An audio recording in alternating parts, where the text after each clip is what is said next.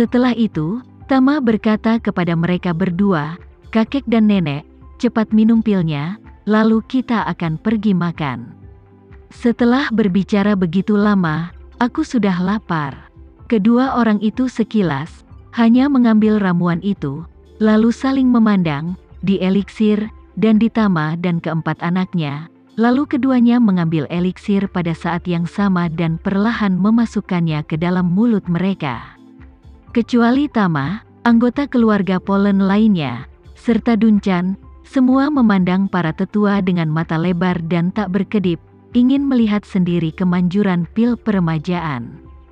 Bahkan Paman Tama, Marshall, di pelelangan, hanya melihat efek meminum seperempat dari pil peremajaan tetapi tidak pernah melihat seluruh pil peremajaan diminum sekaligus. Kedua pasangan tua itu terus saling memandang, dan mereka ingin melihat efek kembali ke masa lalu dalam legenda pil peremajaan dari wajah masing-masing. Tapi pil peremajaan tidak pernah mengecewakan siapa pun. Begitu efek obatnya bekerja, itu langsung tampak seperti tayangan slide yang melaju kencang. Rambut seputih salju kedua orang tua itu dengan cepat berubah menjadi sedikit hitam berbintik-bintik, dan kerutan yang dalam di wajah mereka tampak terisi banyak dalam sekejap. Wajah kendur juga jelas memiliki kemampuan melawan gravitasi. Keduanya memandang pasangan mereka yang menghabiskan sebagian besar hidup mereka bersama dan menyaksikan satu sama lain semakin tua, dan tiba-tiba mulai tumbuh lebih muda dengan kecepatan tinggi. Mereka berdua terkejut dan bahagia di hati mereka. Pengalaman luar biasa ini membuat perasaan mereka satu sama lain diperbarui di hati mereka. Dan perubahan yang lebih besar ada di tubuh mereka berdua. Otak lelaki tua itu, yang dihancurkan oleh penyakit Alzheimer, mulai menjadi lebih jernih. Dia awalnya adalah orang yang sangat cerdas dan berpikiran cepat, namun menderita penyakit Alzheimer tak ubahnya seperti mesin mobil sport legendaris yang mengalami masalah yang tidak dapat diperbaiki, kecepatannya semakin lambat dan semakin lambat, dan kekuatannya semakin lemah. Namun, sekarang dia dapat dengan jelas merasakan bahwa perasaan operasi otak berkecepatan tinggi telah kembali lagi, dan kenangan yang tidak bisa ditangkap sebelumnya membanjiri kembali dalam sekejap, tetapi dia tidak merasa kewalahan, tetapi perasaan bahwa segala sesuatu yang runtuh sebelumnya dengan cepat dibangun kembali di otak. Adapun wanita tua itu, dia merasa bahwa kondisi fisiknya telah meningkat pesat, membuatnya mendapatkan kembali perasaan yang dia miliki 20 tahun yang lalu. Perasaan kembali ke masa lalu membuatnya bersemangat dan gembira, tetapi di detik berikutnya, dia tiba-tiba menutupi wajahnya dan menangis dengan sedihnya. Sebab, 20 tahun yang lalu, itu adalah tahun ketika putri sulung dan menantu tercintanya terbunuh. Seperti dia, lelaki tua itu juga memikirkan kematian putri dan menantunya setelah secara pribadi mengalami perasaan menjadi 20 tahun lebih muda. Dia juga hancur secara emosional untuk sementara waktu dan mulai menangis diam-diam. Yang lain tidak mengalaminya secara pribadi, jadi mereka tidak tahu mengapa mereka menangis. Mereka pikir mereka hanya bahagia, jadi mereka menangis dengan gembira. Jadi, mereka semua melangkah maju untuk menghibur mereka. Marshall berkata, Ayah, Bu, kenapa kalian berdua masih menangis? Melihat kamu tiba-tiba jauh lebih muda, kami terlalu senang. Ya, Teresa juga mengatakan berulang kali, Ayah, Bu, fitur wajahmu tiba-tiba lebih dari 10 tahun lebih muda. Luar biasa, pasangan tua itu saling memandang dan bisa melihat mengapa yang lain menangis. Pria tua itu adalah orang pertama yang menghapus air matanya, dengan lembut memeluk wanita tua itu ke dalam pelukannya, dan menghiburnya seperti membujuk seorang anak. Oke, jangan menangis, jangan menangis, hari ini adalah hari yang sangat menyenangkan di depan Tama, kita berdua tidak perlu lagi meneteskan air mata. Wanita tua itu menyeka air matanya, mengangguk berat, dan berkata dengan senyum yang dipaksakan, Jangan menangis, jangan menangis, Tama lapar, Ayo makan cepat, aku telah menunggu makanan ini selama 20 tahun, tidak bisa menunggu lagi. Rangkaian makanan lezat yang mempesona hampir semuanya dimasak oleh koki klasik mansion. Tama sudah makan terlalu banyak dan tahu rasa klasik mansion, jadi dia tidak terkejut sama sekali, tapi kotak terong buatan neneknya masih mengembalikan perasaan masa kecilnya. Keluarga Polen bahkan lebih bahagia, semua orang menuangkan anggur untuk diri mereka sendiri, dan keluarga bersulang untuk menemukan Tama. Kegembiraan itu melampaui kata-kata. Setelah beberapa gelas anggur, masing-masing keluarga Polen mulai mengobrol. Sambil bertanya tentang detail kehidupan Tama selama bertahun-tahun, mereka juga memperkenalkan kepada Tama secara detail apa yang telah dilakukan keluarga Polen selama bertahun-tahun. Setelah itu, semua orang berbicara tentang berapa kali Tama menyelamatkan keluarga dari api dan air.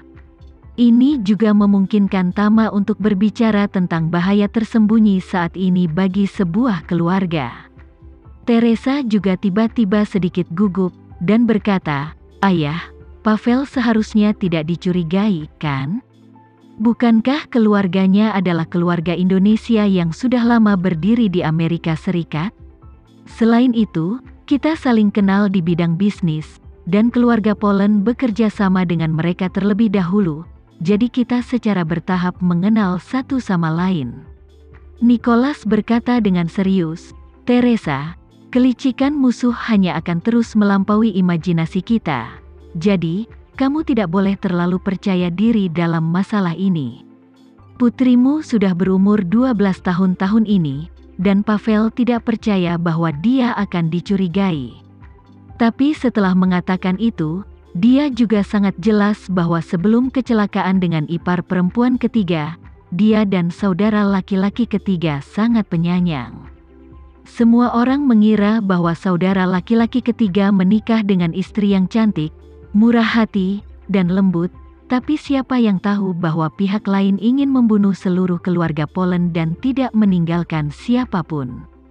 Saat ini, Nicholas berkata lagi, setelah kecelakaan di New York terakhir kali, baik Agam dan aku merasa bahwa Pavel sangat mencurigakan. Namun tidak lama kemudian, Lelia bunuh diri dengan meminum racun, jadi semua perhatian kita terfokus pada Lelia. Memikirkannya sekarang, akan sulit bagi kita untuk menjernihkan kecurigaan ini. Tama berkata saat ini, menurutku apa yang dikatakan kakek sangat masuk akal.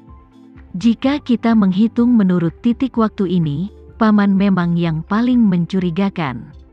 Setelah berbicara, Tama berkata lagi, namun, tidak ada cara untuk membuat kesimpulan tentang masalah ini untuk saat ini, jadi pemikiranku saat ini adalah, semuanya, Jangan menghubungi siapa pun untuk saat ini, dan aku akan berbicara tentang hal-hal lain setelah aku membereskan sisanya. Semua orang setuju. Semua orang tahu betul bahwa jika musuh yang bersembunyi di kegelapan tidak digali, keluarga Polen tidak akan pernah damai. Dan Teresa juga tahu betul di dalam hatinya bahwa masalah ini tidak boleh dinilai dengan intuisi saja. Saat ini, kecuali Tama, tidak ada yang bisa menjamin keandalan 100%. Apakah suaminya memiliki masalah tidak akan diketahui sampai penyelidikan selesai. Tama sedikit mengangguk dan berbicara, karena kamu sudah memberitahu suami Bibi tentang apa yang terjadi terakhir kali, lalu apa yang terjadi kemarin, jika kamu menutupinya hanya akan membuatnya waspada, oleh karena itu, jika dia, serta orang lain, bertanyalah, Kenapa kamu tidak memberitahu mereka secara besar-besaran bahwa keluarga Polen mengalami serangan kemarin, dan beritahu mereka dengan nama bahwa penyerang mengaku sebagai Adi of the Black Mamba, dan bahwa dia ingin memaksakan apa yang disebut rahasia umur panjang dari mulut anggota keluarga Polen, dan kemudian beritahu mereka bahwa dermawan itu lagi yang muncul pada saat genting terakhir kali, dan langsung menjatuhkan Adi dari pintu dan sisanya kalian tidak tahu apa-apa kecuali mendengar suara letupan. Teresa bertanya, bagaimana jika dia bertanya tentangmu? Tama berkata, ini sederhana, katakan saja aku masih sama seperti terakhir kali. Aku tidak menunjukkan wajah asliku, kamu baru saja menilai dari suaraku bahwa akulah yang menyelamatkan kalian di New York terakhir kali, maka kamu bisa berpura-pura tiba-tiba teringat beberapa detail.